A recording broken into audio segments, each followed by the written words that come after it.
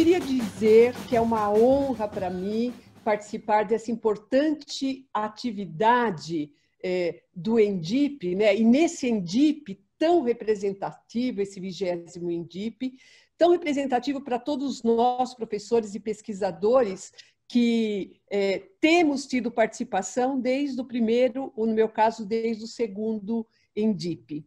Então, eu parabenizo o Endip, agradeço aqui professor, ao professor Luiz Paulo, a Larissa, especialmente a professora Gisele, que fez o convite para nós.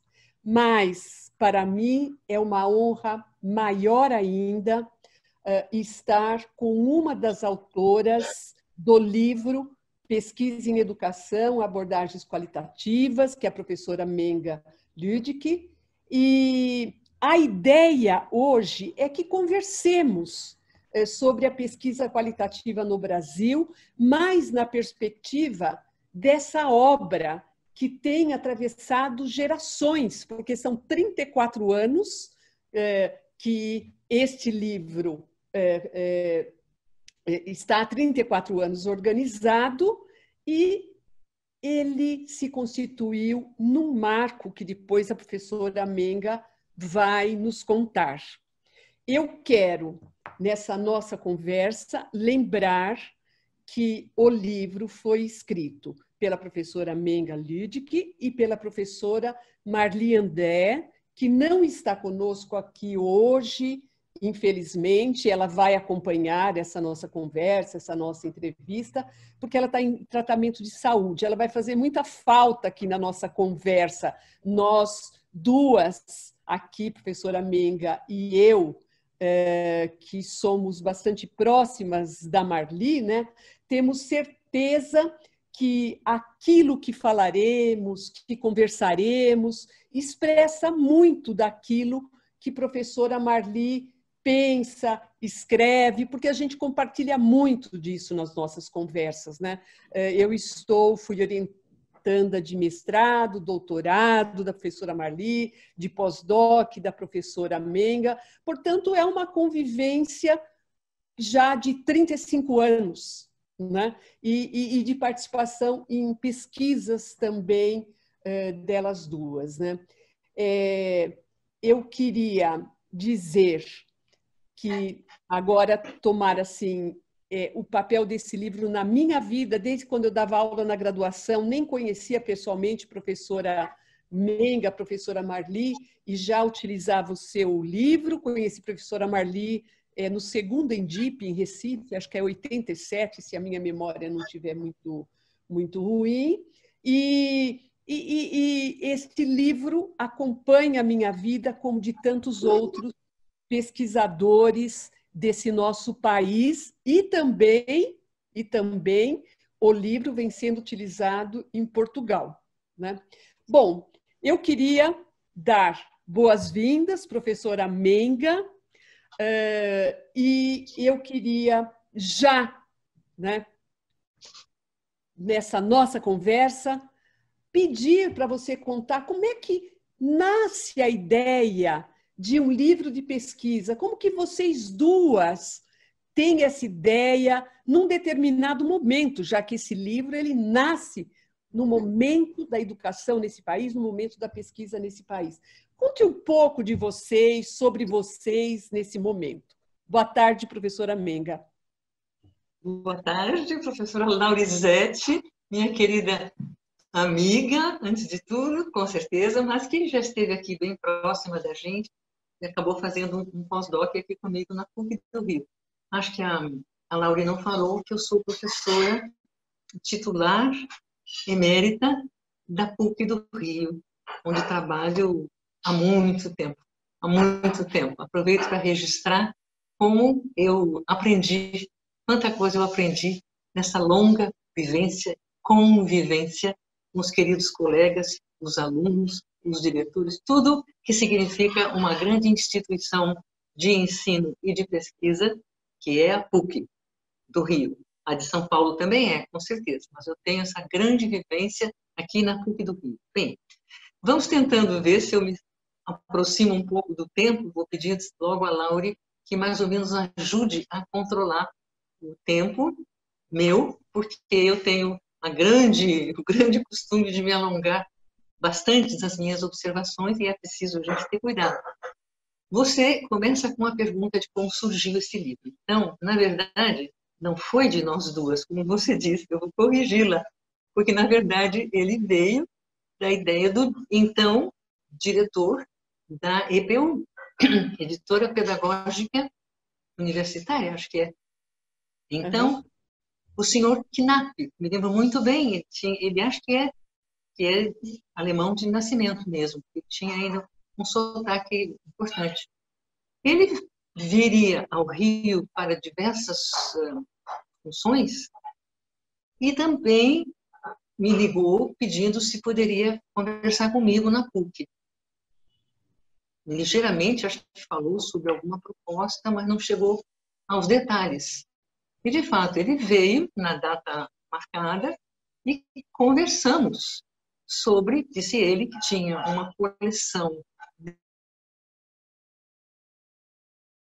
rede trabalhando e que ou em estudantes que vão, estão se preparando para se tornar professores. Então, essa coleção era dedicada a esse, esse conjunto de pessoas. Ele foi muito claro. Professora Men, eu sei que a senhora tem experiência, a senhora trabalha com, com metodologia de pesquisa em educação, na graduação e na pós-graduação, mas eu pediria à senhora que dirigisse esse trabalho que eu estou lhe propondo, que é a elaboração de um livro. Não pode ser muito grande, ele vai entrar numa coleção que tem algumas, alguns pré-requisitos. Mas um deles é esse, se dirigir a esse tipo de clientela. Eu sei que a senhora tem já uma boa experiência, uma grande experiência com a pós-graduação, mas eu pediria à senhora que esquecesse, ele disse exatamente essa frase, que esquecesse o jargão da pós-graduação. E se centrasse no, no palavreado, nas expressões, na linguagem desse pessoal ao qual essa coleção é dirigida. Professores que estão na rede trabalhando, portanto, ele já preocupava com a pesquisa que o professor deve fazer. Não tenho dúvida que esse, senhor tinha alguma coisa clara na cabeça em relação a esse, a esse nosso trabalho e aos que estão se formando. Eles sabiam, como eu vou passar a explicar já já, que havia uma grande necessidade de material bibliográfico a respeito dessa questão, ou seja, pesquisa em educação, de abordagem, ele não usou essa expressão, mas nós depois usamos, de abordagem qualitativa, porque já estava aparecendo, já estava começando, mas não havia muitos recursos bibliográficos. Então, meu, se, é um desafio, olha que prazer, vamos lá, vamos tentar. Acho importante, também percebo que há necessidade, tomara que, que eu possa. Aí eu perguntei se eu poderia convidar alguém para me acompanhar nessa, nessa obra. E ele disse, sim, da pessoa de sua confiança, tudo bem. Não, estou pensando numa pessoa. Realmente já me veio na cabeça a Marli, que tinha sido nossa aluna de mestrado aqui, aqui na PUC do Rio, e já tinha ido para os Estados Unidos, onde ela fez o doutorado e o pós-doutorado numa excelente universidade, Illinois. E ela estava recém chegando desse pós-doutorado. Portanto, estava realmente com as coisas bem fresquinhas para serem divulgadas, discutidas, apresentadas aqui entre nós. Propus a Marli, que de fato aceitou, e aí vamos começar. Aí, aí sentamos para programar o que seria esse livro.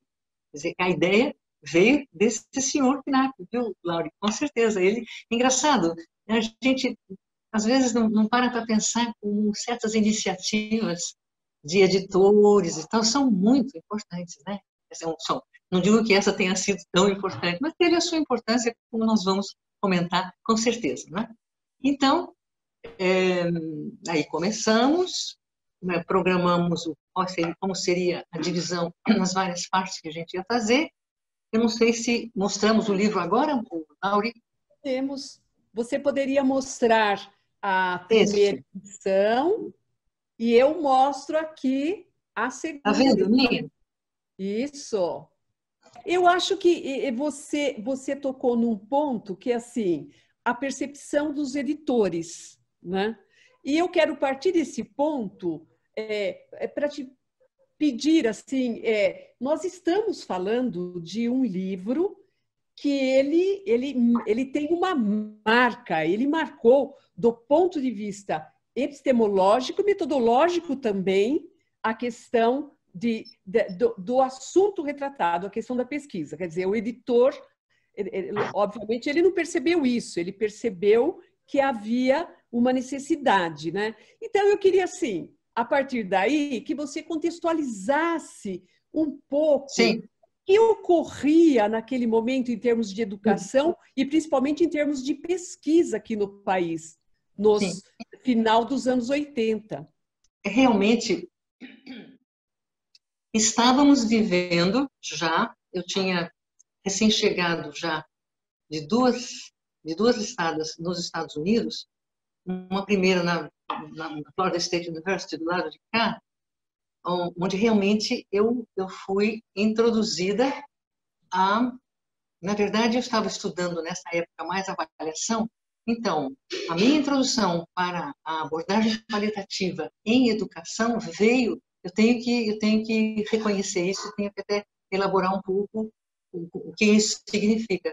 Veio pela via da, da avaliação, que era um assunto que me interessava nessa primeira viagem aos Estados Unidos, era uma bolsa para estudar avaliação pela, pela Ford Foundation. E eu tive a sorte de ter um excelente, eu já tinha meu doutorado, e então tive a sorte de ter uma a essa avaliação qualitativa por um excelente professor, Dr. Garrett Foster, que foi o meu o meu parceiro. Eu já tinha o doutorado, então não era exatamente um orientador, né? Era me tratou realmente assim, mas ele dominava muitíssimo bem a avaliação, ele soube, embora ele trabalhasse, claro, com quantitativo e qualitativo, mas ele soube responder àquela necessidade que eu acho que passei para ele, eu tenho a minha formação em filosofia, né, pela USP. Então, eu tive bastante distanciamento, digamos, pela filosofia e pelos interesses, de um tratamento muito quantitativo via estatísticas que realmente dominava na época a educação. Eu preciso agora falar um pouquinho de, de é só repetindo um pouquinho para quem está ouvindo de maneira geral, né? A educação nunca teve, como ainda não tem, exatamente o seu campo próprio, exclusivo, delimitado direitinho. Não temos. Nós, a educação se beneficia das ciências várias que tratam da educação, como a sociologia, a antropologia, a história, mas também a biologia educacional, como se dizia no tempo da formação no curso normal, se não me engano, a disciplina se chamava biologia educacional. Uhum. A economia da educação, que dominou por muito tempo, ainda tem uma entrada muito forte no nosso pensamento e na nossa atividade educacional, muito a economia. Por quê? Mas a história também. Então, havia uma disciplina de história da educação, como até hoje tem, nos cursos de pedagogia, sociologia nem se fala, só que a gente gosta, é claro, de falar sociologia da educação, economia da educação, antropologia da educação, fazendo esse jogo de lá para cá, quer dizer, a sociologia, ou a antropologia, ou a história, trabalhando com os seus instrumentos, os seus, os seus apetrechos teóricos, que são muito mais sólidos do que os nossos em educação, é verdade? Mas a serviço da construção do nosso objeto de pesquisa, não tenho dúvida. Então, nós, isso não preciso insistir muito, senão eu vou gastar muito nosso tempo, isso a gente faz bastante nos nossos cursos. Então, mas naquele tempo, o dominante tinha sido a psicologia, olha só, a biologia, depois veio a psicologia, que até hoje é importante, psicologia da educação, falei ainda, imagine. um maior respeito aos psicólogos. Olha o Piaget, que na verdade era de formação de biologia, né? Piaget era um biólogo na formação, né? Então a gente até acha interessante que um dos principais teóricos da, da educação era formado em biologia. Tudo bem, porque a filosofia está sempre embaixo e atrás de tudo, ajudando tudo. Pois bem, mas nessa época dominava sim esse tipo de pensamento que era um pensamento muito mais voltado por estatísticas, por, por trabalho com, com números e com muitos números, que é para poder dar, dar sentido, dar, dar sustento, melhor dizendo. Porque o sentido quem dá, eu já vou falando e já com certeza voltarei a falar várias vezes nessa nossa interlocução, Laure, com certeza, o sentido quem dá é o pesquisador. Eu me lembro muito bem de como eu fiz uma pesquisa qualitativa, quantitativa naquele tempo, através de aqueles computadores que levavam dias, dias para trabalhar da, da PUC, da, da, da, USP, da USP, eu morava em São Paulo e trabalhava em São Paulo, no Centro Regional de Pesquisas Educacionais. E desenvolvi uma pesquisa grande e eu tive o prazer, a honra de ter a Elza Bercó, famosa na época, grande estatística e tal, e tal, fazendo análise fatorial para mim que era aquela coisa mais valiosa, cobiçada. A gente tinha que preparar as variáveis todas, todas, todas para poderem para poderem entrar nessa análise fatorial. Mas eu lembro tão bem que ela disse muito bem, Menger, eu vou fazer. Fiz, fez, fez, fez, fez, fez, me ajudou, até chegou no fim, quando ela tinha disse muito bem. Agora é o pesquisador que vai dar o sentido nisso aqui. Eu não vou me meter nessa seara, essa seara é sua. É o pesquisador que tem nas mãos toda a proposta de pesquisa, todo o tema geral e depois o tema específico que vira o seu objeto de pesquisa, não tem que ser necessariamente um problema que você vai resolver, você não vai resolver, o pesquisador não vai resolver, só vai estudar, muito bem. Mas Elza Bergot tinha muito claro isso. Bom, Vamos passar para continuando, porque eu talvez volte a falar mais tarde, mais explicitamente sobre isso. Então, todo mundo, os cursos eram, eu mesma, como professora, como professora de metodologia de pesquisa, procurava trazer para os meus queridos estudantes, então, de mestrado, um pouco de graduação, mas mais de mestrado, lá na PUC do Rio, eu comecei, lecionei um pouquinho, comecei minha vidinha universitária lá na PUC de São Paulo, quero dizer. PUC de São Paulo. Eu para o Rio só em 75. E realmente uh, o dominante era. Vou te dizer uma frase que era muito comum na época, que era mesmo uma espécie de lema, algo assim, né? O design experimental é o design mais elegante da pesquisa. Veja se você consegue chegar, você como projetando, fazendo projeto de pesquisa e desenvolvendo, e você chega no design experimental, esse que é o bonito. E eu gostava, inclusive, de discutir com os meus estudantes o que era aquilo, como até hoje faço. Eu faço questão de dar para os meus queridos estudantes, sobretudo em graduação, porque é aí que começa um pouquinho a ter a ideia das coisas. Então, eu faço questão de que eu nunca tive grande domínio e agora cada vez menos, porque o computador não para, né? Não é. para de desenvolver e desenvolver. O que se fazia em oito dias, hoje você faz em oito minutos uhum, no uhum. computador. Não tem dúvida. Então você pode fazer muito mais e tem feito muito mais. Mas é preciso que, que, que os estudantes, sobretudo, entendam a natureza e por isso que eu falo numa, numa mudança epistemológica, realmente, que esse, esse livro conseguiu introduzir, sem dúvida nenhuma, que era então não era aquela postura sempre sempre baseada e fixada no controle numérico, com todos os recursos e tudo, mas não passava disso. E a gente precisava, a gente sentia que precisava em educação evoluir, que é o que me aconteceu na minha estada lá na Florida State, com certeza, o Dr. Garrett Foster, e e depois continuou. Então, quando cheguei, aí senti. Então, veja, o domínio era um, era um curso de estatística dificilmente dados de maneira a chegar, que pena, a chegar realmente ao que é necessário para o domínio dos estudantes que estão começando. É uma, Laure, é uma, não sei se você quer fazer uma observação sobre isso.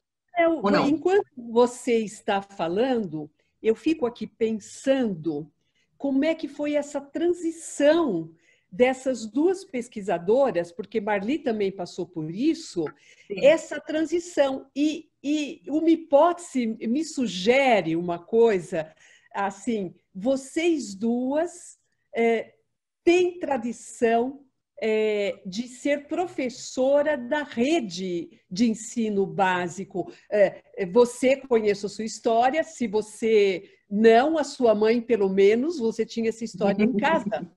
Né? E a professora Marli foi professora é, do Experimental da Lapa, professora é. de português e se tornou orientadora pedagógica.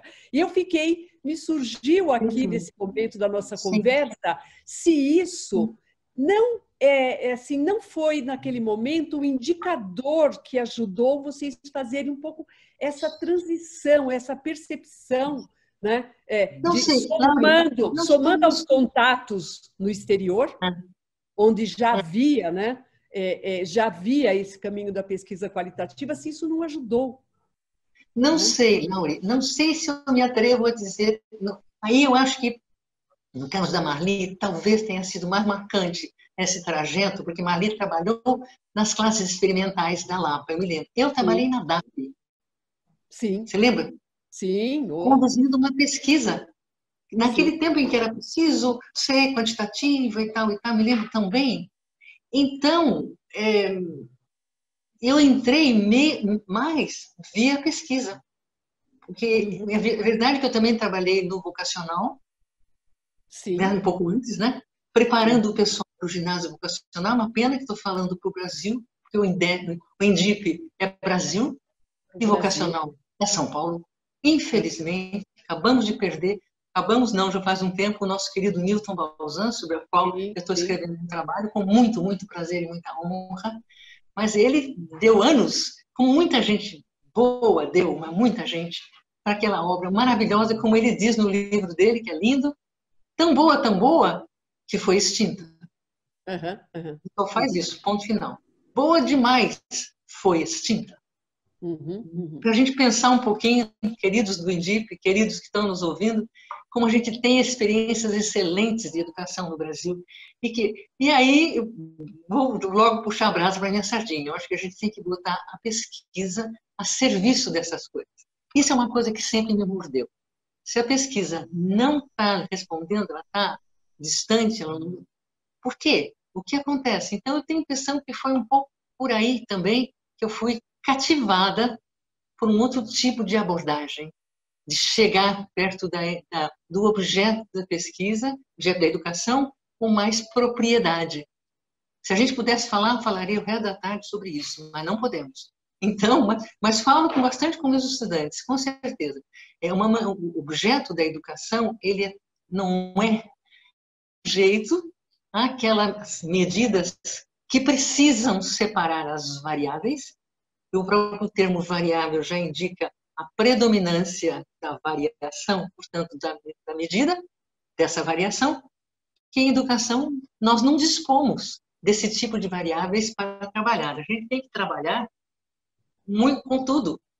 Então, aí é que a posição do pesquisador que tem que olhar em tudo, e é isso um bocado do que a gente tentou introduzir nesse pequeno livro. Eu vinha já de, de, de Tallahassee, da Florida State University com essa, já com essa, eu sei que, que, que é no viés da, da, avaliação, sou grata a isso, sou grata, foi o pessoal da avaliação na época tinha, por exemplo, o Scriven, o Scriven já estava pintando, e o Scriven é o que, eu não digo que ele inventou, mas ele batizou o, o, o par importantíssimo da avaliação, que se chama avaliação formativa e somativa.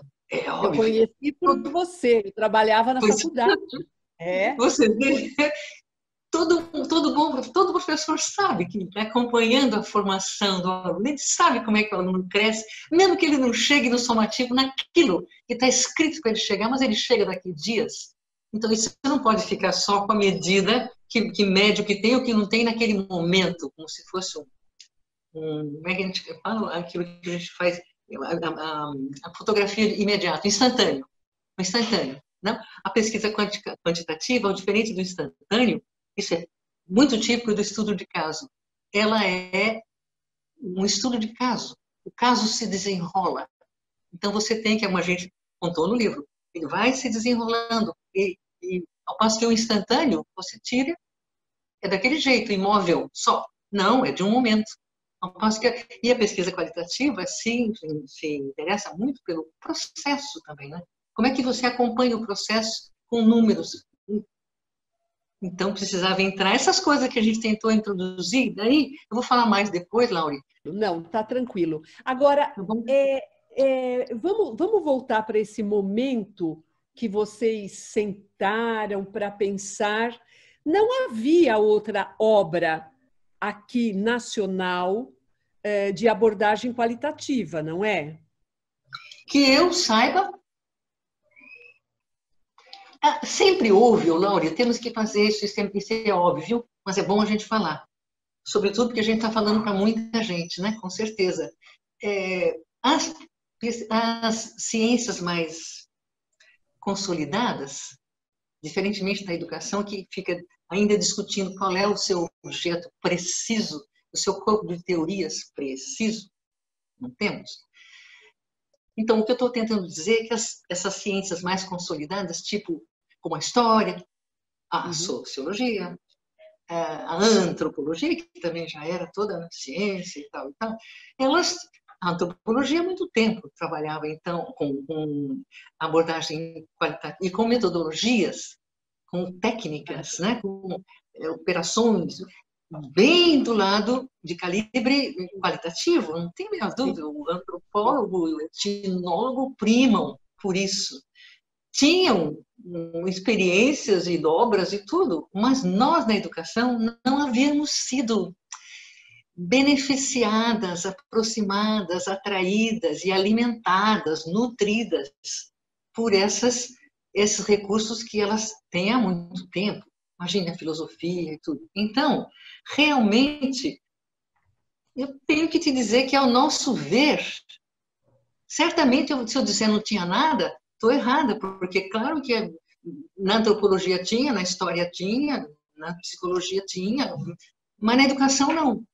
Então, e por isso, acho que o, o, o editor, o diretor lá da, da EPU, tinha bem a noção que estava faltando em educação e que tinha uma clientela importante em educação. Professores já efetivos, trabalhando, desempenhando o seu trabalho, e estudantes em formação, que iriam realmente precisar de um livro como esse. E, de fato, tenho que reconhecer que sim, que ele veio um pouco responder essas coisas, não é, Laura? E aí, sim. eu peço a você até que comente um pouco, a partir da sua experiência, como ele é usado sim, pelo, e, pelos formadores. É, então, é, eu estou é, trabalhando, inclusive, com disciplina de pesquisa hoje, mas assim que eu tô, é, estou orientando e cada vez mais aprendendo a orientar, porque é inesgotável, é, especialmente nesse momento, com as novas tecnologias, a gente é, é, fica numa aprendizagem constante, né?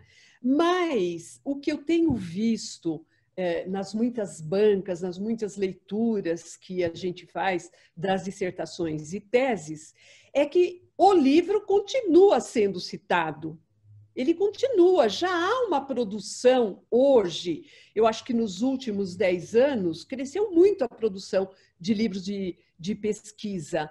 E o livro de vocês continua sendo é. citado. É por isso que a gente está usando aqui, vamos dizer, ele foi um marco, né?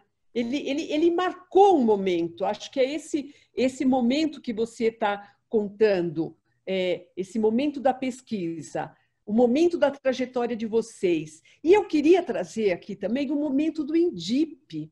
Né? O INDIP, eu me lembro muito bem, é, e é até hoje, é o encontro que mais congrega é, professores, não só pesquisadores. E o que foi acontecendo? Né? Os, os professores começaram a adentrar é, nesse campo de pesquisa também, né? Hoje, Com certeza. Com os certeza. nossos mestrados, né? O nosso mestrado, tanto na, na psicologia como principalmente no mestrado profissional, os, eh, no nosso caso, os coordenadores, os gestores, eles estão indo fazer o mestrado. E, e, e, agora, retomando o Endip lá atrás, né, ele era um espaço, ele foi, ele se constitui ainda hoje nesse espaço de troca de pesquisadores, professores. Então, é, eu acho que isso também é, tem muito a ver com a presença do livro nos trabalhos. Não, é, não sei, pois é. Eu acho, eu sou um pouco mais, eu não sou tão, como é que eu digo assim, tão, tão alvissareia como você está sendo, mas eu diria que sim, ele fez a sua parte. É, é verdade que foi, portanto, foi levado, ele respondeu a, uma, a um pedido, né, a uma motivação. Não sei se nós chegaríamos sozinhas, não sei, isso é importante talvez a gente considerar também, né, como de repente uma provocação concreta, assim, assim, assim, tá, nos colocou e colocou de um jeito, aí você vai falar um pouco mais, eu acho, sobre isso, de, de permanência, né, de ficar, embora estejam aparecendo muitas obras, muitas obras, inclusive sobre pesquisa qualitativa, vão para desta direção, para outra, para outra, uma variedade e tal. Mas o nosso livrinho, ele, eu acho, é, continua na semente, quer dizer, ali no, na parte fundadora, realmente, de uma epistemologia mais, mais ampla, acho que é um jeito de conhecer que é mais próprio. Eu me lembro que a gente começa falando de positivismo, tentando fazer de uma maneira que fosse bastante é, né, é, própria para a introdução do tema, sem, sem, sem aprofundar, sem poder sequer aprofundar nem nada. Mas, e, e aí mostrando que as coisas eram um pouco diferentes, e foi, e foi, e foi. Realmente, aí ele é, falando do ENDIP, eu deixo fazer uma rápida junção que eu faço questão de fazer. Uma pesquisa que eu fiz tentando ver como a pesquisa do professor, porque aí a evolução é grande até chegar nessa, nesse ponto, mas a gente vai saltar, vai, vai e volta como podendo nesta fala, que é pequeno, né? curta. É, mas a pesquisa do professor começa a aparecer com a sua uma identidade própria, um lugar próprio, uma função própria e, sobretudo, do meu lado, uma expectativa própria. Marie também, com certeza, isso tenho certeza que Marie também pensa assim e tenta fazer esse tipo de coisa. Então, essa eu tentei ver numa pesquisa, vou falar rapidíssimo, porque tal livro está publicado, que se chama O que conta como pesquisa. Então, para eu ver como eu é que. mostrar aqui, enquanto você o que conta está aí. O que conta como é. pesquisa. É, eu, gosto desse, eu gosto do design dessa pesquisa, porque a gente pegou representantes da pesquisa em educação em pleno desenvolvimento e nas suas várias áreas, que a educação é composta de áreas diferentes. Você tem só para brincar um pouquinho, desde a educação infantil até a educação de adultos ou a educação de eh, prisioneiros, ou você tem uma variedade de subdivisões e subdivisões que às vezes ficam mais importantes do que a, parte central. Ah, é como na medicina também, né? É como, não, podemos, não posso fugir. É. Segura lá, senão eu fujo. Então, a, essa, essa, essa variedade de coisas. Né? Seria um desdobramento isso, sim, sim, super desdobramento, que às vezes uma área ela se multiplica, é uma coisa acontece na educação. Mas a gente tinha, a gente tinha então que uma pesquisa que é o que a gente procura sempre. De jeito nenhum uma pesquisa exclusiva do professor, própria do professor, que é, é, é, não, é perigoso. Eu acho perigoso dizer que é a pesquisa do porque eu acho que o professor tem, tem, como é que eu digo, tem capital, tem, tem preparo básico, é para ter, pelo menos, para investir em qualquer tipo de pesquisa que ele quiser. E eu tenho visto professores caminharem para diversas, por que não? Está todo mundo na educação. É professor? Está na educação. Ah, é um motivo de uma boa discussão aí, que não vai ser hoje, né?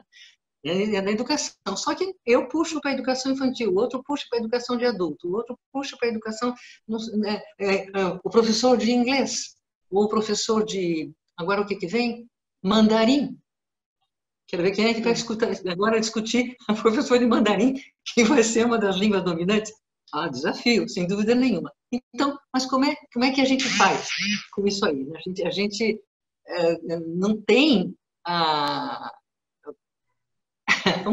Não podemos fugir da coisa geral que se chama pesquisa em educação. Se a gente quer ter crédito, a gente precisa estar enfrentar com coragem, com os recursos que a gente tiver, do melhor jeito possível a pesquisa sobre o que a gente quiser.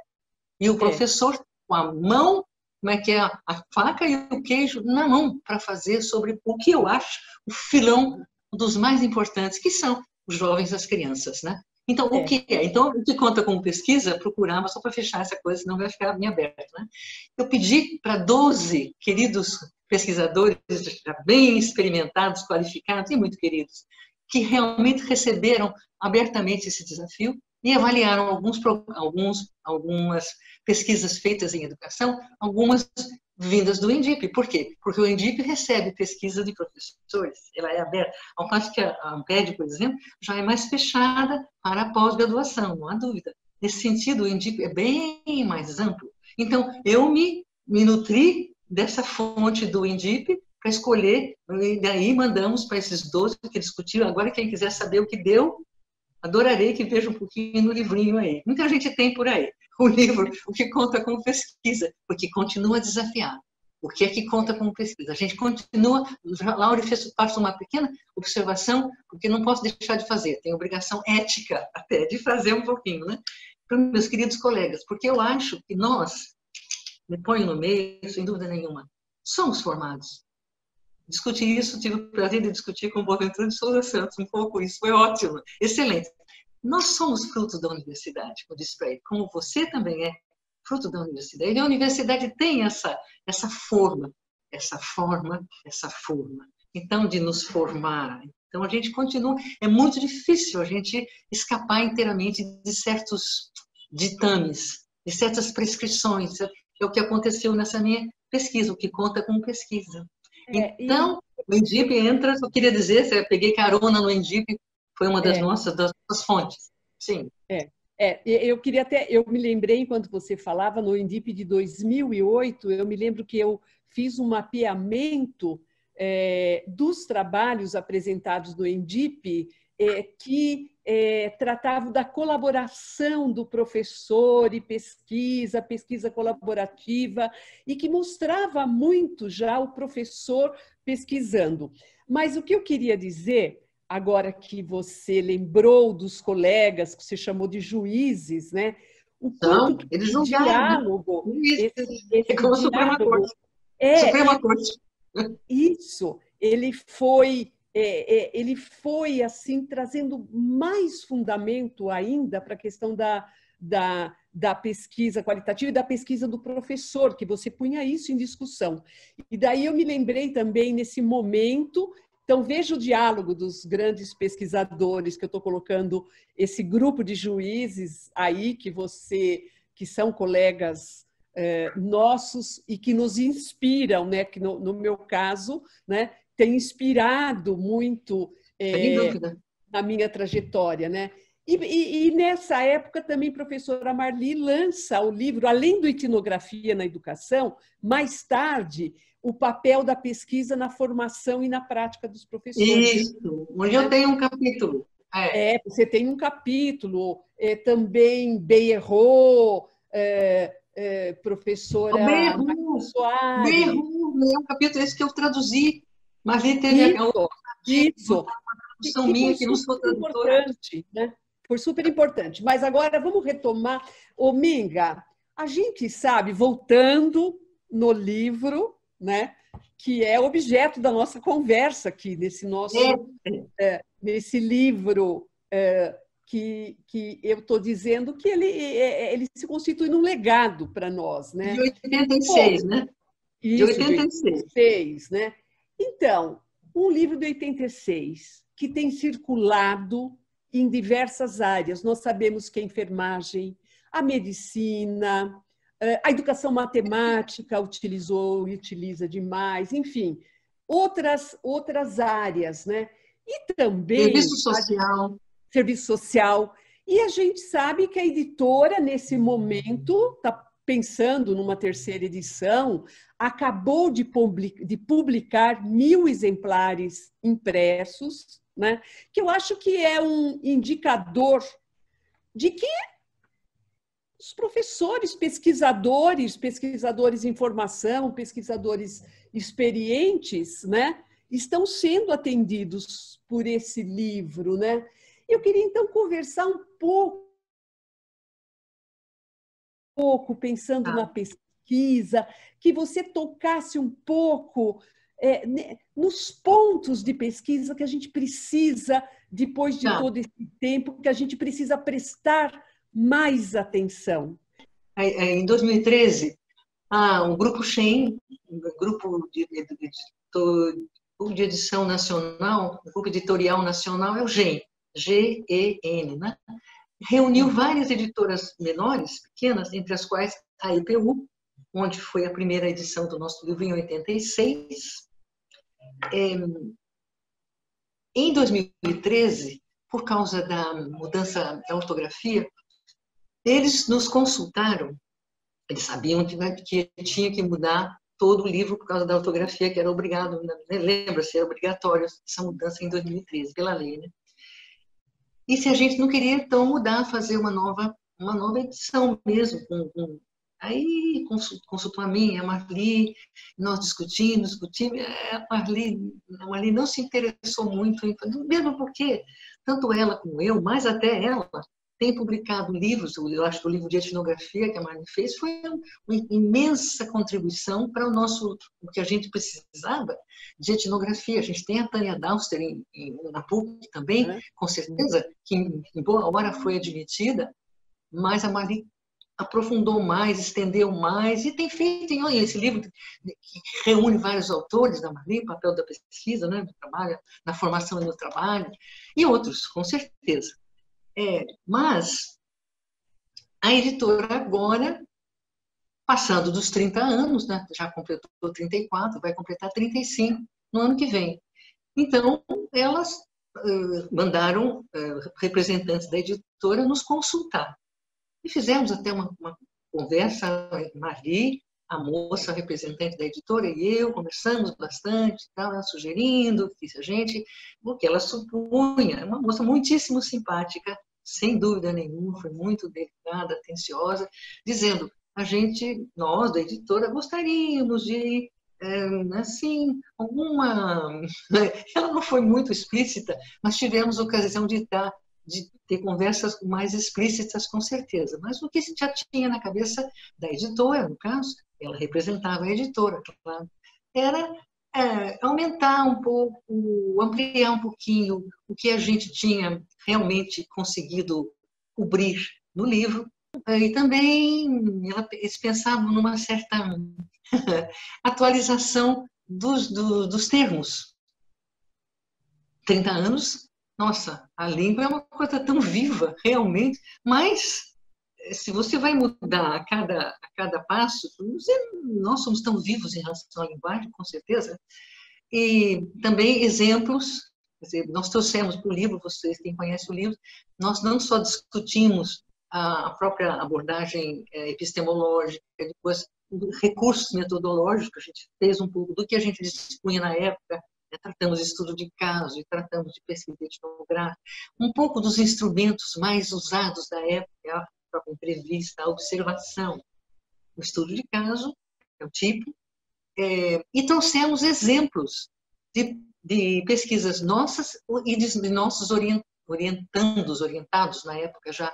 Então, escolhemos trechos e tal, e tal, e, conversamos, discutimos análise, fizemos o que pudemos, Marli e eu, Deixa eu ressaltar um pouquinho que a Marli estava chegando, olha só, não posso deixar de dizer, me segura o tempo aí, mas isso eu tenho que dizer.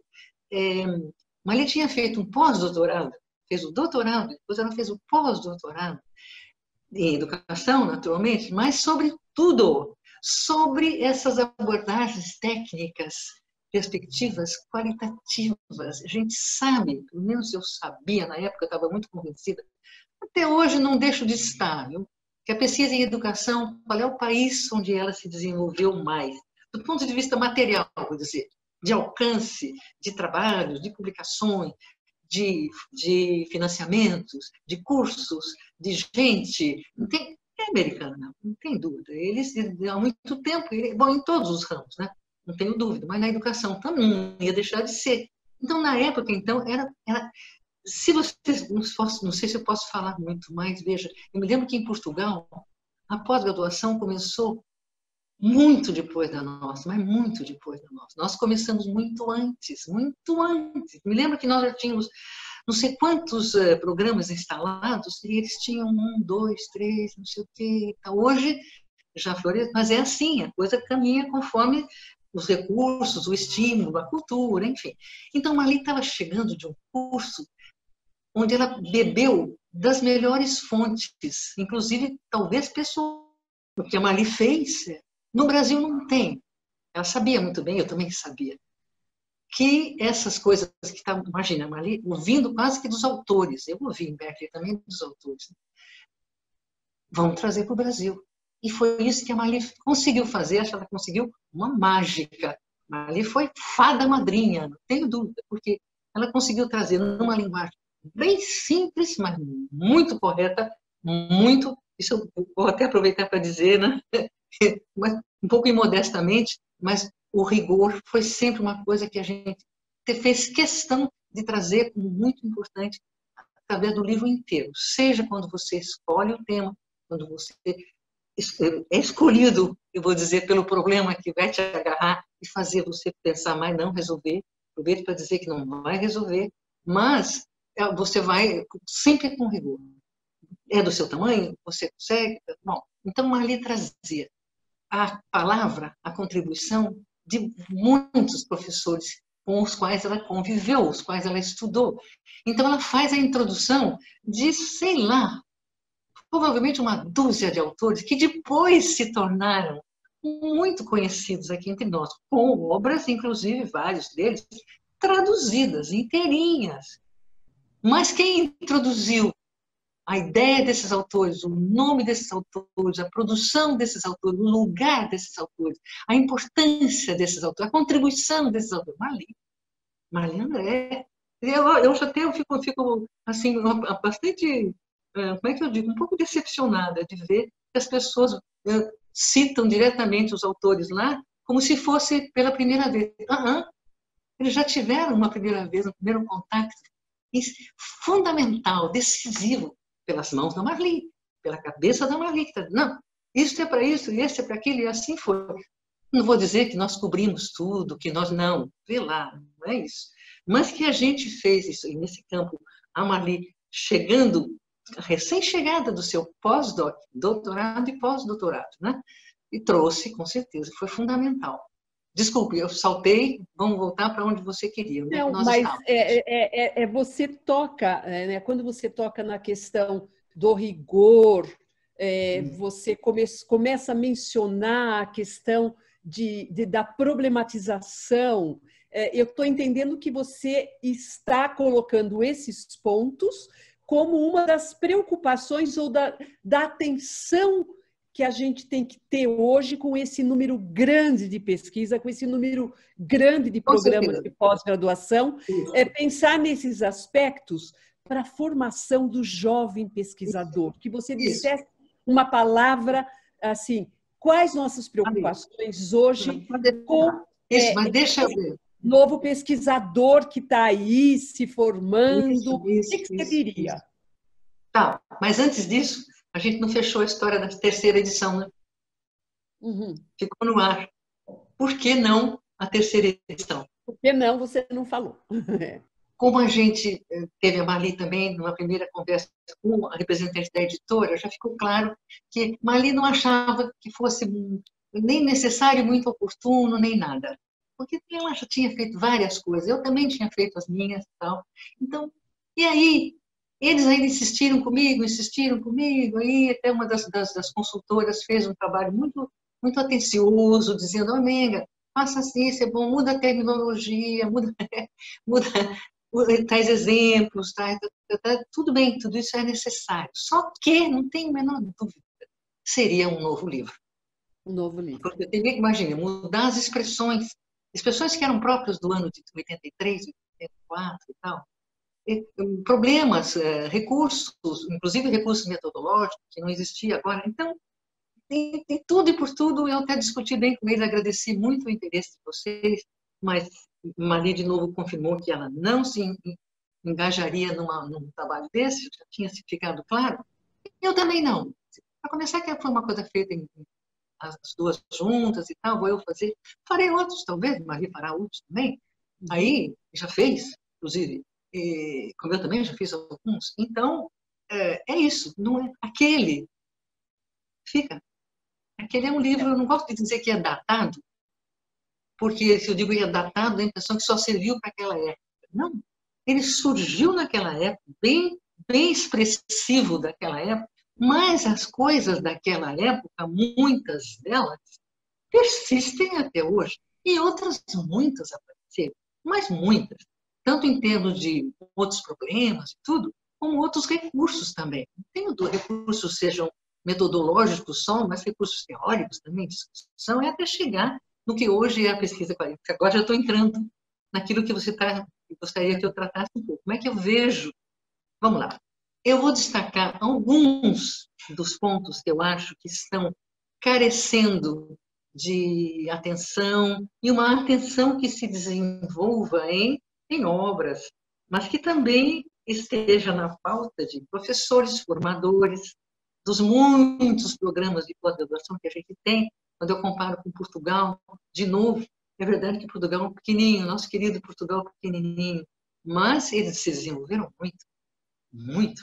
Para quem não tinha o tanto de, como nós sempre tivemos há muito tempo, muito mais do que eles, eles crescem, crescem, crescem muito. E nós, eu acho que falta é alguma coisa para a gente acompanhar, para a gente ir nivelando e deixando, é, e tratando, cuidando, que a pesquisa qualitativa é tão importante, não se deixe perder, às vezes, em certo mal, certos mal entendidos, que é mais fácil, é mais acessível, é mais. Não, peraí.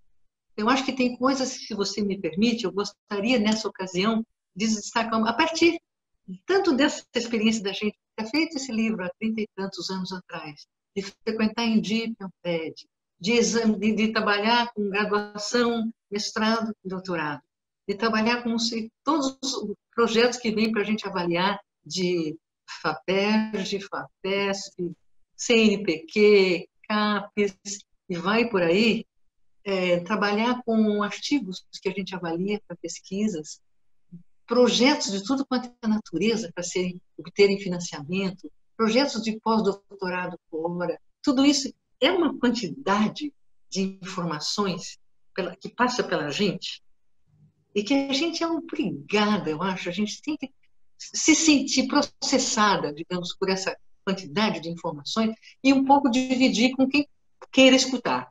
Então, eu tenho procurado fazer isso quando me convidam para alguma aula, alguma palestra, alguma banca, Banca, eu acho que é uma situação muito boa da gente discutir. A pessoa trabalhou pelo menos dois anos no mestrado, pelo menos quatro anos em geral no doutorado, e aquelas cinco pessoas, quatro, porque tem uma que acompanhou o tempo todo, né? Até hoje é obrigado a botar o nome do, do, do orientador junto, porque de fato, se há uma coisa que é feita a dois, pelo menos, é mestrado e doutorado. Sem dúvida, não, não é para ter. Quando sai sem essa junção, está errado. Acho que o junto é estar tá, cada um na sua. Então, o que, que é cada um na sua? Eu até gostaria de abrir para todo mundo que está, porventura, ouvindo essas coisas. Eu estou bem preocupada. O que, que a gente pode fazer ainda em relação a esses pontos que a gente, a partir dessa experiência que eu acabei de declinar, bonitinha, estou correndo um pouco com medo do tempo, é, mas eu queria muito ver de gente que está nos ouvindo, que nos conhece e que até já, já leu os nossos livrinhos e tal, o livrinho pequeno e outros, acompanha a pesquisa, participou com a gente, os meus queridos orientados, como eu insisto com eles, para chegarem mais perto, para a gente, alguns chegam. nem todos, aproveito aproveitar para puxar as orelhas dos que não se aproximam tanto, porque a gente precisa trazer o que a gente fez juntos e separados também. O que está dando aí? Cada um está sofrendo. Adoraria ouvir você. Não vai ser aqui, né? Porque aqui é para eu falar. Mas qualquer dia, Laura, gente... vamos sair para alguma coisa aí em conjunto, com certeza a partir desta reunião aqui, acho. Então, vou ressaltar um dos pontos que eu acho, das questões pouco tratadas, e Bali também. A dificuldade que o principiante, e às vezes não é só o principiante, até em doutorado, às vezes a gente vê essa dificuldade, de estabelecer qual é o problema que você vai trabalhar. Na sua pesquisa, você vai fazer uma pesquisa, ao redor do seu mestrado vai se desenvolver a partir dessa pesquisa, e o seu doutorado, o seu pós-doc também, e outras pesquisas na vida. A partir, se não tiver problema, não precisa se mexer, né? Deixa, tá bom, não precisa mexer. Agora, a gente se mexe. Lembro de uma aula do Florestan. Ai, ele dizia, numa das memoráveis aulas do Florestan Fernandes, na minha formação em filosofia lá na USP? Condições e se não tivesse havido problemas sérios na sociedade do século XIX, 18, 19, não apareceria a, a, sociologia não teria sido desenvolvida, não era necessária. A sociologia foi necessária, ele desenvolveu uma grande ciência, que já era, o tamanho do Florestan, meu Deus. Fazendo 100 anos agora, se fosse, né? É, se não tivesse problemas desafiando, não teria a inteligência sido posta a serviço de enfrentar esses problemas, não resolver. Atenção, eu faço questão de deixar claro, porque há aí uma, uma confusão, às vezes. Não, é não, você não tem que resolver. Olha lá, aí tem tanta gente que é muito mais dotada de recursos e de poder e tudo, e que não cuida de fazer as. Alguns cuidam. Vamos ver se a gente consegue colocar gente que cuide da educação por aí. Por favor. Porque nós cuidamos de estudar a educação, de esclarecer. É isso que o pesquisador tem que fazer. Ele tem que analisar, colher, colher fatos, dados, o que seja. Essa história de qual e quanti, com cuidado, minha gente. Eu não gosto, eu acho que a Mali também não gosta dessa expressão. Tem impressão. Vou até confirmar com a Mali, mas eu acho que não é uma expressão muito simpática. Inclusive, encobre até às vezes um entendimento muito muito pobrezinho sobre o que é isso, o que é uma abordagem quantitativa, que até o livrinho lá de 86 deixa ver isso. Você precisa analisar os, os componentes do, objeto que você está estudando de tal forma que você possa medir, que você possa mesurar, você possa comparar, então, quantitativamente, mas aí com suas análises, por favor. Sim, não adianta. Os números sozinhos não falam. Que é isso? Então, e aí dizer que eu amo é qualiquante porque eu tenho é, meia dúzia de, de, de entrevistados e, e, vou interpretar, todo mundo interpreta. A interpretação é de todos os dados, sejam quantitativos, qualitativos, como forem, mas tem que ser analisado por quem? Pelo pesquisador. O pesquisador é o primeiro, mais importante instrumento da pesquisa. E aí, se você me deixar, eu vou citar alguém, alguém, posso fazer uma rápida citação? Sim. Você acha que o tempo está curto? Não, mais um pouquinho, vai, mais, um, mais cinco minutinhos. Cinco, minutos. Então, deixa eu tratar. É, isso aí, eu, quer dizer, eu quero só trazer o, o nome do Wright Mills, que eu acho que é um Wright grande. Uhum. Wright Mills, né? Que, sobretudo na imaginação sociológica, que está traduzido. É uma, é uma obra de 50, americana. Foi traduzida em 65, eu tenho a primeira tradução aqui comigo. Mas ele tem um segundo capítulo onde ele fala do artesanato intelectual. Isso encaixa também, não é só para pesquisa qualitativa, mas é sobretudo, porque ele mostra a importância do artesão que é o pesquisador. Ele junta, ele decide o que é o problema. Tem um texto muito bom do, do Saviani, que vou passar por cima, sobre o que é problema, num, num livro de filosofia do Saviani. Muito bom, também antigo, mas que mostra o que é um problema de pesquisa. É um problema que é preciso ser estudado, cuidado não precisa ser resolvido. Ele precisa ser estudado, mas está na sua altura. Você é um estudante de mestrado, cuidado. Não tem uma ambição que desborda completamente do seu tempo, da sua capacidade e tal. Você está no doutorado, pensa um pouco mais, que são quatro anos, às vezes até mais, em que você fica debruçado e tem o auxílio do seu orientador durante esses longos quatro anos e de outros professores a universidade oferece tudo isso. Então, os recursos que a universidade oferece para a formação do pesquisador são enormes.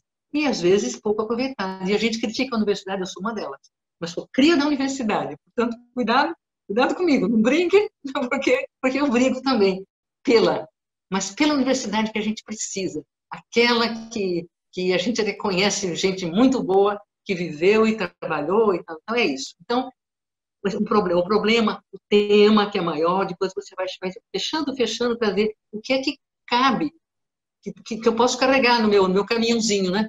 Muita areia para o meu caminhãozinho. Não, olha, você não vai conseguir levar. Então, não vai resolver. Mas vai estudar da melhor maneira que você puder analisar, mostrar e tal. Depois, uma outra questão que eu acho que é, é complicada também é você trabalhar com, saber, usar a sua. Aí vem Wright Mills com a figura do artesanato. Ele, o principal instrumento da pesquisa, é o pesquisador. Então, ele que vai juntar aquilo que você considerou como pesquisador é, importante, em termos de contribuição teórica, mas você vai acrescentar a sua análise. E a análise é fundamental. Se a gente não conseguir fazer uma análise direitinha, então, o que, que, você vai contribuir? Você vai só juntar? E nós estamos cansados de ver pesquisas que só fazem isso junta, junta, junta, que esse disse, que aquele disse, não, não pode. Então, precisa mais. Outro item grande, passando depressa, Laura, com medo de, do tempo, é. é, a própria redação. Aí eu sei que o pobre do professor de metodologia de pesquisa não pode ser o responsável por isso. Ele sim tem que trazer os instrumentos, os recursos, ajudar o aluno a ver, ajudar o professor formador também, né? O professor formador tem dificuldade, é uma coisa que é o que a Marli faz muito bem, a formação dos formadores. Então, a Marli cuida muito, a Marli toda a equipe grande que eu conheço razoavelmente, e respeito muito esse trabalho da Marli, sem dúvida nenhuma. Vai dar muito, está dando muitos frutos. Acabou de sair um dossiê sobre o trabalho de vocês, né? Entendo. Então, a, então o, o pesquisador vai ter que oferecer, o formador do pesquisador, os recursos, sejam teóricos, sejam metodológicos, sejam de redação. Cuidado, a redação é uma redação própria da pesquisa, minha gente. Claro que a, que a pesquisa tem a sua linguagem. Não que tenha que ser aquela coisa chata, formal e tudo. Leiam, leiam Wright Mills. Leiam Wright Mills, como é que ele escreve? Tem a minha edição, é de 65, mas o livro original americano é de 57. Ele está vivo, completamente vivo. Morreu novo, aos 62 anos, né? é, morreu muito novo. Deixou vários livros, alguns deles, vários deles já estão traduzidos aqui para nós. Vale a pena. Então, olhar para trás, é claro que tem muita coisa nova por aí, é, boa, interessante que a gente tem que ver, mas tem muita coisa antiga. Fala, né? Não. O que eu ia dizer é assim: você tocou nesses aspectos que a gente já está finalizando, e é, hoje é, temos novos. É, modos de coleta, novos contextos. Então, temos gente, por exemplo, fazendo análise de conversa no WhatsApp, é, temos pessoas assim trabalhando com conversas em sites. São novos modos, mas o que você traz, a preocupação é a mesma, né? que é a questão do rigor, como você trouxe, da problematização, da redação, dos cuidados metodológicos. Né? Então, o que, para a gente finalizar aqui, né, é, é, é e para tomar mesmo o objeto da nossa conversa, que é assim, é como nasce esse livro em 83, né, e que, por que ele continua... 86, a publicação é 86. É, porque ele continua né? 83 foi quando eu conheci a Marli e, e, e logo depois você.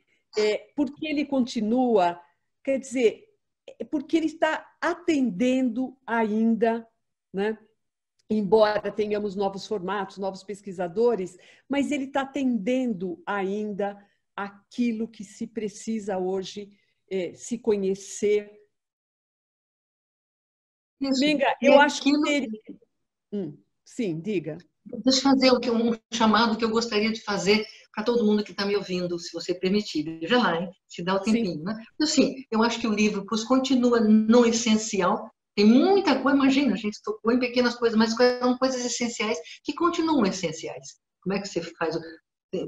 vê o problema, como é que você cerca o problema, que chamar de problema, às vezes, é um pouco embaraçoso, porque a pessoa pensa que tem que responder. Não, a questão, o tema, o que seja, que, mas que realmente leva a um problema, senão não precisaria fazer. E aí, como é que vai até o fim com a redação e tudo, tudo. Mas eu estou preocupada com as coisas estão muito frequentes por aí, com essas experiências que eu relatei rapidamente, que chegam nas minhas mãos e me dão uma riqueza de informação. Então, eu gostaria que quem está me ouvindo e quiser entrar nessa jogada, por favor, se comunique comigo. Eu vou pedir para a Larissa botar o meu site, o meu site não, o meu... E-mail, e-mail. E-mail da PUC, direitinho, porque quem quis, porque eu adoraria, gostaria de ter feito com a Laura isso, mas não podia. Ela estava preciosa, ajudando a conduzir um pouco, me segurando aqui, para ver se eu falava um pouco do, do muito que eu queria falar. Então, agora eu adoraria receber opiniões. Eu tenho feito algumas apresentações e não recebo feedback depois. Entendeu? Não entendeu? Gostou? Faltou o quê? Ah, Menga, podia ter explicado um pouco mais isso ou aquilo. O que, que eu sinto pior na formação, no meu trabalho de formador, no mestrado, no doutorado ou na graduação? Eu adoraria fazer um livro com alguém, alguém já está me provocando para fazer um livro direto para a graduação. Farei com prazer. Mas fazer, fazer outros, assim, que, que sejam hoje mais atuais, que respondam de maneira mais direta às necessidades que a gente, que a gente tem. Por favor, se comuniquem comigo. Mandem sugestões, sugestões. Me conheçam ou não me conheçam, podem mandar, eu vou gostar muito de receber sugestões do que tratar. Eu não pude falar de três ou quatro coisas, só tem muito mais. Você está nos convocando para um diálogo e para é, um retorno em termos das nossas pesquisas, em termos das nossas, dos nossos desafios como, como pesquisadores hoje. Acho que essa é uma conversa que a gente precisa muito ter mesmo. Como né? formadores, né, Marli? Né? Como então, formadores. Formadores de formadores. formadores porque é, estamos aí é, formando né, os jovens pesquisadores. Menga, lamentavelmente, ficaríamos aqui um final de semana todo conversando uh, e trocando muito. Eu, você é uma contadora de histórias, eu já fui a vários congressos com você, eu adoro ouvir as suas histórias, principalmente quando você estava na França, suas idas para teatro, sua, suas idas é, para isso é a parte.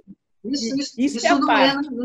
É, não, não fazia parte, mas é que eu quero contar aqui que quem tem história tem história, né? E você tem história de pesquisa, junto com a história de pesquisa, há outras histórias é, muito gostosas. Eu tive esse privilégio. Então, eu tive o privilégio, tenho esse privilégio com a professora Marli, de estar sempre aprendendo com vocês e o privilégio de estar trocando muito nesse sentido. Então, eu queria finalizar agradecendo muitíssimo, agradecer a professora Marli, ela vai assistir essa entrevista, nós estamos torcendo aqui para a saúde dela, para que ela esteja conosco no Endip, mesmo que seja da sua casa, assistindo. Ela é uma mulher valente, é uma com mulher certeza. que está atravessando um período difícil, mas com valentia. Ela tem uma valentia que é presente na trajetória em todos os sentidos. Isso. Na vida Isso. pessoal, na vida profissional. Ela, ela, ela ultimamente, ela tem dito assim para mim, é, esse, esse projeto do mestrado profissional, formação de formadores, que eu tenho os professores aqui presentes, os diretores, é, é um projeto, ela diz, do qual ela fala assim: eu me orgulho muito, porque aquilo que eu escrevi como pesquisa da relação universidade-escola, de professor aprender a ter esse olhar investigativo, é, ela está botando ali, está colocando ali é, é, é, em, em ação nesse, nesse programa. Então, aqui eu sou muito grata, assim como muita gente, muitas colegas nossas, no nosso grupo de pesquisa lá da PUC, que tem gente do Brasil inteiro, é, é, é, tenho certeza que também são pessoas gratas a você, Menga, gratas a você, professora Marli, porque vocês continuam nos inspirando continuam ensinando a fazer pesquisa para nós. Né? Então, eu acho que assim, os professores do Endip vão aproveitar muito dessa entrevista, mas vão aproveitar muito também da fala de vocês duas no Endip. Tá? Então, sim, acho sim. que a gente se esquece. Eu, eu passaria a palavra para você se despedir, né? E, okay. depois eu fecharia. Ok, então eu estou muito contente também com essa oportunidade. É, achei, acho que falar do livrinho é um prazer, sem dúvida nenhuma, mas falar do que vem após o livrinho, que veio, Isso. já vem 30 anos, vem 34 anos, vem vindo, vem vindo, vem vindo, e ele está aí ainda, eu tenho que respeitar. Mas agora eu não, quero, não quis perder, tive essa ideia hoje de manhã e perguntei, pedi a Laura se ela deixava eu encaixar na nossa entrevista essa espécie de convocação. Pessoal que está por aí, por esse Brasil, por favor, sinaliza para a gente. Porque aí eu vou fazer até ah, fazer uma pesquisa. Não gosto nem um pouco dessa expressão, estou ironizando um pouco. Mas eu vou contar quantos eu vou receber e que tipo de, de, de, problema e como é que a gente pode. Aí a gente pode pensar até em outro tipo. Eu sou muito falante, posso falar, fazer umas lives, é um maior prazer, mas também escrever e produzir coisas que fiquem mais como um livrinho. Olha, 34 anos, quase 35. Muitíssimo obrigada, Laure, grande querida amiga, e segurando aí as pontas foram muitas conversas nossas, mesmo nessa decisão, essa provocação, essa proposta né, da editora de fazer uma nova, Laura me ajudou a ver como não era possível. É, do jeito que está, até tem uma expressão de uma outra querida amiga, que diz, não, Menga, é um clássico, deixa. Clássico. clássico você não deixa. Deixa. Então, quer dizer, vai fazer, vai mudar o Zé Delencar, vai mudar o Érico Veríssimo, vai mudar. Não, mas vamos atualizar a fala do Hélio? Não, vamos, deixa do jeito deixa que Deixa ele voar, deixa ele voar, ele, ele está vivendo solidamente, não, não como não. Um dos problemas são os mesmos, né? E outros, e outros recursos que também vêm. Muitíssimo obrigada por tudo, um prazer, gostei muito. Espero que vocês também Muito obrigada. É, essa entrevista, um beijo para você. Essa entrevista, ela é, vai ser ou está sendo nesse momento reproduzida no Endip. E aqui eu já desejo que a gente tenha um ótimo evento, porque esse é um evento histórico nos seus 20 anos. Muito obrigada, professora Menga. Muito obrigada por tudo, professora Marlene.